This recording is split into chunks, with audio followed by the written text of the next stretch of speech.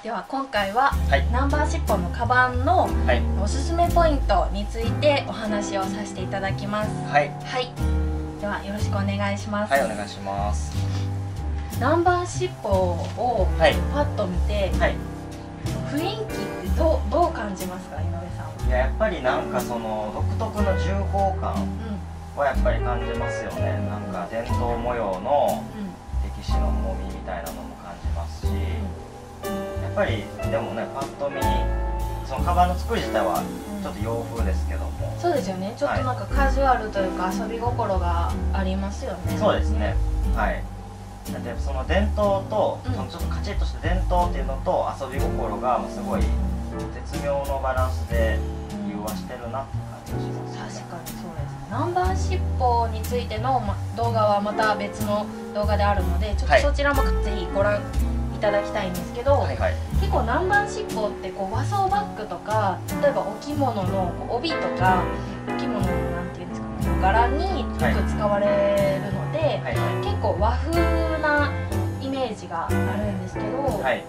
でもこのビアベリーさんのカバンに合わせることによってすごくさっきもおっしゃってた洋風というかう普段の生活にこうグッと取り入れやすいような雰囲気があるかなとはやっぱりねその日本のうん。そのちょっと伝統とかを取り入れたいなとかうん。思われる方も結構多いと思いますし僕らとしてもちょっとそういうなんていうんですかね日本の美うん。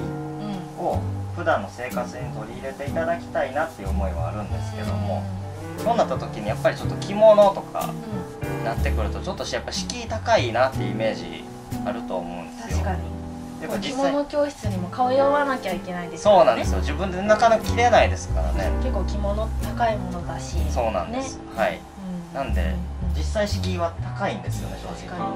そうなった時にうんこれだとうんなんか敷居が低いっていうとちょっとあれですけど入りやすいですし確かに。そういう日本の美に触れるっていうところとちょっとその日本の伝統美を身にまとうってなった時にそういう着物とかガチガチした切り口からじゃないちょっとまあふ本当に普段の生活にこううまく落とし込みながら取り入れられるっていう点では一番優れてるんじゃないですかね。確かに。そうですね。こう日本の伝統のこう建設物とか、はいはい。お寺とか行くの好きですか？あめっちゃ好きですねそういうところにこう行って日本の美意識みたいなものを感じると、人はすごい日本人でたくさんいると思うんですけど、はい。なんかそれをこう普段使っているカバンではい。こう身にまとってうん。でそれによってこう自分がまるでこう日本の建設物のような あなるほでどなるほど なるほ日本の文化を背負ってますみたいな。どはいはい。こともねすごい素敵やなそうですね。やっぱそういうちょっとね格調高いものを身にまとうとやっぱりちょっとそういう気分もねうん高揚しますし、確かに。なんか自分はちょっとこう日本の美を背負ってるんだっていう意識で生活するとそれはそれでちょっと豊かなうん。生活になるのかなみたいなところがあります。そうですね。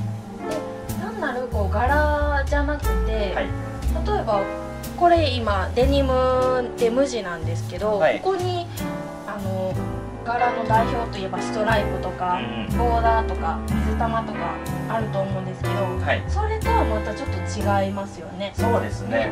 やっぱりその普通の模様うと違って一見まあシンプルっちゃシンプルじゃないですか、ん。このね、2つのパターンがこう連続してるうん。だけって言ってしまえば。はいそうなんですけどやっぱりなんでしょうねそういうストライプとかうん。水玉ドットとかからは感じられないようなやっぱり高貴さが漂ってますよね。よね。はい。ちょっとこう柄が入るとどうしてもカジュアルな方に行きがちなんですけど、ね柄が入ってもこうより一層上品になるっていうのはナンバーシッポならではの雰囲気かなとは思いますね。確かにそうめっですね。ちゃいいこと言いましたね。めっちゃいいこと言いました。めっちゃドヤ顔してました今。知っておきたかったですね。すいません。そういう意味ではもう老若男女これ僕なかなか言えない今日結構うまく言えました。老若男女はい。誰にでもおすすめはできると思いますね、確かに。は通のファッションアイテムってなんかもうその表面的なところだけでうんその人に合うかどうかみたいなこと多いと思うんですよ。色がその人に合うか柄がその人が好きかどうかとか。これもうちょっとね奥深いところでそれこそさっき僕たちがー一生懸命説明してたようなはい日本の伝統云々とかうそういう部分でおすすめしていくようなアイテムっていうところで捉えたらうん。日本人全員におすすめできるアイテムかなと思います。なんかあれですね日本人としてこのカバンを持って旅行とか海外旅行とか行ってほしいです行きたいですね。それは確かにちょっとね見せつけたいですよね。ね海外の方って。そうですねはいはいそれではおすすめポイントのご紹介でしたはい、はいありがとうございます。ありがとうございました